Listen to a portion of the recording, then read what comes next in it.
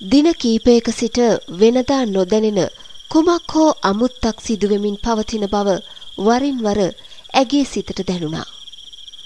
එහෙත් සිදුවන්නේ කුමක්දැයි කියා ඇයට අවබෝධයක් නැහැ. සිතේ පැවතියේ මහා මූසල ගතියක්. අගනගරේ සරසවියක ඉගෙනුම ලබන නිෂාදී රූපයෙන් මෙන්ම දක්ෂතාවලින්ද සපිරුණු කෙනෙක්.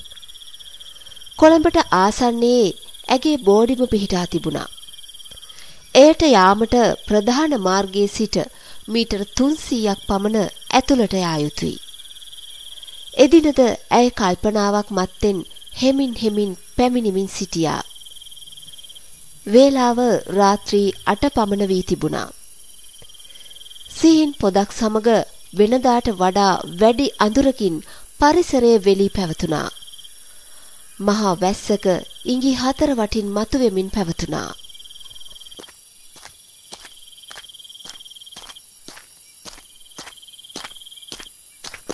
පිටුපසින් ඇසෙන අඩි සද්දයට ඇගේ කල්පනාව බිත වැටුණා. නිකමට මෙන් ඇය පිටුපස හැරී බැලුවා. ඇයගේ පිටුපස ශබ්දය වේගයෙන් ටිකෙන් ටික වැඩි වෙන්නට වුණා. කිසිවෙකුත් ඇයගේ පිටුපසින් පැමිණෙමින් සිටියෙත් නැහැ. එසේනම් ඇසුනේ අඩි ශබ්දයක්මද? ඇය සිතමින් পায় ඉක්මන් කළා. ඇයට යා හැකි වුණේ පියවර කිහිපයක් පමණයි. යලිත් පිටුපසින් අඩි ශබ්දයක් ඇසුණා. ඇය එකවරම පිටුපස හැරී බැලුවා.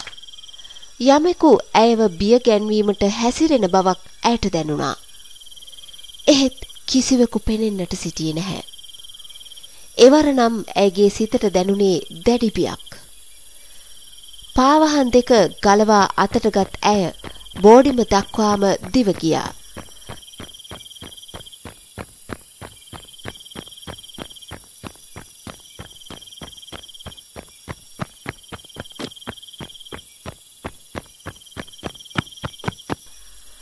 ගේට්ටුව අසලදී මොහොතක් හති ඇරීම උදෙසා නතර වුවත් සිතේ බිය පහව ගොස් තිබුණේ නැහැ. ගේට්ටුව අසලදී තද සීතලකින් ඇයව එතී යන්නාක් මෙන් ඇයට දැනුණා. එය වැහි සීතලට වඩා ලොකු සීතලක්. ගේට්ටුව ඇරගෙන බෝඩිමට ගිය නිෂාදී මද වේලාවක් ඇඳ උඩ වාඩි වී කල්පනා කරන්නට වුණා. ටික වේලාවකින් නාන කාමරයට ගිය නිෂාදී ඇඳන් සිටි ඇඳුම උනා දමා වතුර මලයට සිටගත්තා.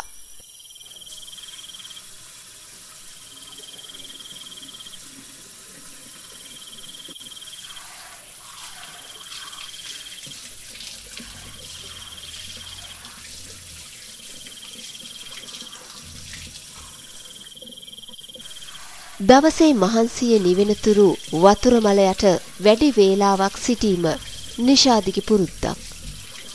එදිනත් ඇය වතුර මල යටට වී සිටියා. නාන කාමරයේ වා කවුළු පිහිටා ඇත්තේ ඇයට පිටුපසින්.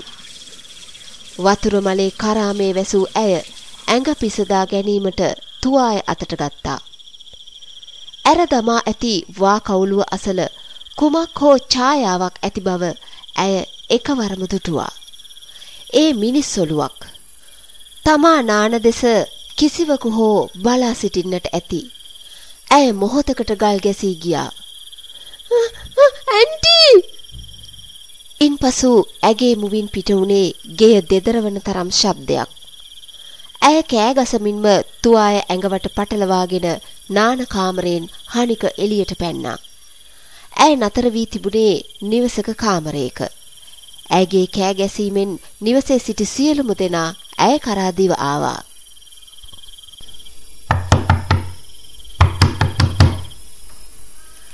දොරට ගසන ශබ්දයට ඇය තී ගැසී ගියා. දුව දුව ඇයි මේ දොර අරින්න? ඒ නිවසේ හිමිකාරිනියයි. අනේ ඇන්ටි බාත්රූම් එකේ ජනෙලෙන් කවුරු හරි බිල බැලුවා. ඇය බියෙන් වෙවුලමින් පිළිතුරු දෙනවා. නිවසියෝ ගෙදර පරීක්ෂා කර බැලුවා. වත්ත අවටත් පරීක්ෂා කර බැලුවා. ඒත් කිසිවක් කිසිවෙක් සොයා ගැනීමට ලැබුණේ නෑ. ඒ දුව එහෙම කවුරු හරි ඒ වගේ දෙයක් කරා නම් තාප්පෙන් තමයි යන්න ඕනි. ඒත් මෙච්චර උස තාප්පකින් කොහොම යන්නේ ඇත්ද? ඔය විදියට කතා කර කර සිටි අතරතුර ඇයට නිින්ද ගියා. ඔහොම දවස් කිහිපයක් ගෙවී ගියා.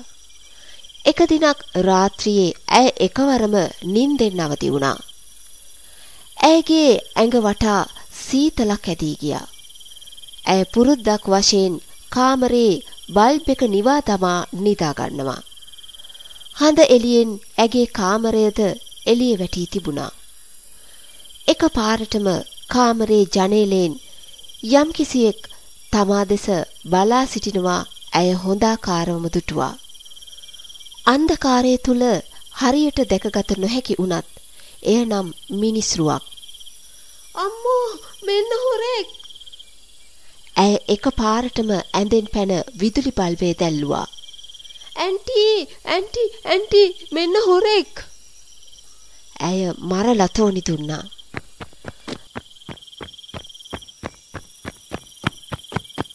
හිමිකාරිය කලබලෙන් එතෙන්ට දුවගෙන ආවා. ඇයි දුව මොකද මේ? ඇන්ටි කවුදෝ මිනිහේ ජනලෙන් බලන් හිටියා.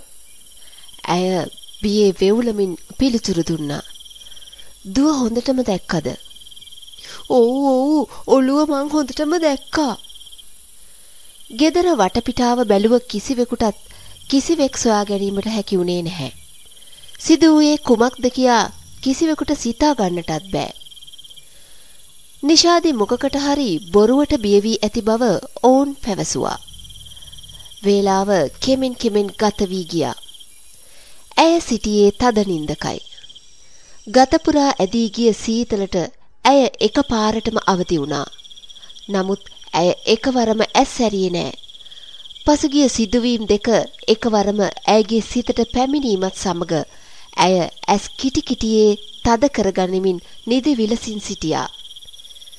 ඇයගේ සිරුර පුරා ඇදී යන සීතල ඇයට තදින්ම දැනෙනවා. ඇයගේ රහස් තැන්වල පවා සීතල ඇදී යනවා. එම සීතල වෙනස් ආකාරයේ බියක් ඇති කරනවා.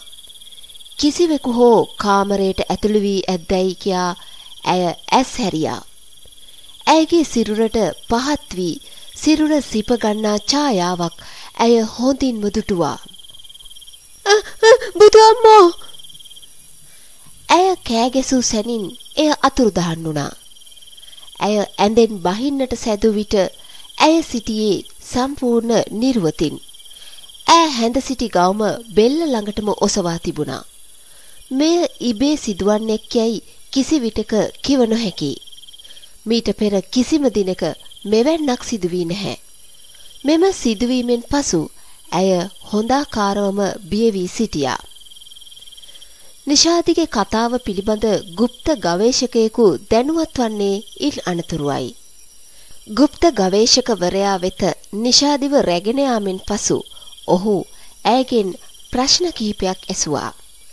මේ ඒ දෙදෙනා අතර ඇති වූ දෙබසයි. කවුද ඔයත් එක්ක අර එහෙ මෙහෙ යන උස ළමයා? කවුද? නිෂාදි කලබල වුණා. අර කොණ්ඩේ දෙපැත්තට බෙදපු නිෂාදී ඇයගේ ප්‍රේම සම්බන්ධතාවය ගැන කිසිවක් ගෙදරට කියා තිබුණේ නෑ. ඇයට කර කියාගන්න කිසිවක් තිබුණේ නෑ. මේ අසන්නේ ඇයගේ පෙම්වතා ගැනයි. ආ ආ ඒ කැම්පස් එකේ ළමෙක්. හ්ම් එයත් එක්ක වැව් ගානේ කරක් ගහන්නේ මොකටද? গুপ্ত ගවේෂකවරයා ඇගෙන් විමසුවා. නෑ. ඒ ඇගේ කෙටි පිළිතුර. නෑ. වැව් ගානේ ගියාට කමක් නෑ. පඳුරු ගානේ රිංගන්නේ මොකටද? නිෂාදිට කර කියා ගන්න දෙයක් තිබුණේ නෑ. ඇගේ මව්පියන් ඉදිරියේ සියල්ල හෙළි වුණා. ඇය බිම බලාගෙන සිටියා. කාමර ඇතුලේ වෙන්න ඕනි දේවල් කැලෑ ඇස්සේ වෙනකොට මේ වගේ දෝෂ ඇති වෙනව තමයි. ආසාවල් හිර කරගෙන ඔය කැලෑ අස්සේ වැව් ගානේ මැරිච්ච උන් කොච්චරනම් ඉන්නවද? ගෑනු ඇඟක් දැක්කම උන් ඒකට කෙල හලනවා. tamunටත් වෙලා තියෙන්නේ ඒකම තමයි. තමුන්ගේ ඇඟට වශී වෙච්ච පෙරේතෙක් තමුන්ගේ පස්සෙන් එනවා. මීට පස්සෙවත් ඔය පඳුරු අස්සේ රිංගන්නේ නැතුව හිටියනම් හොඳයි. මෙන්න මේ දේවල් ටික මම මේ කියන ආකාරයටම සිද්ධ කරන්න. එතකොට ඔය ආත්මය ඉවත් වෙයි. තොවිල් පවිල් නටන්න ඕනි නෑ. ගුප්ත ගවේශකවරයා නිෂාදිගේ දෙමාපියන්ට පැවසුවා. නිෂාදි බිම බලාගෙන ආශ්‍රමයෙන් එළියට පැමිණියා. ඇය කරපු වරද ඇයට වැටහුණේ එවිටයි. ගුප්ත ගවේශකවරයා පැවසූ වත් පිළිවෙත් ඒ ආකාරයෙන්ම ඉටු කිරීමෙන් පසු ඔහු කියූ ආකාරයෙන්ම ඇයට වශී වී සිටි പ്രേත ආත්මය ඉවත්ව ගොස් තිබුණා. නැවත කිසි දිනක ඇය පෙම්වතා සමග නොහොබිනා හැසිරීම් වලට යොමු නොවී සිටීමට වග බලාගත්තා. ඉතින් මේ වගේ වීඩියෝස් හැමදාම බලන්න අපව සබස්ක්‍රයිබ් කරලා බෙල් සලකුණ සක්්‍යය කරන්නත් අමතක කරන්න එපා. ඔබට සුබ දවසක්.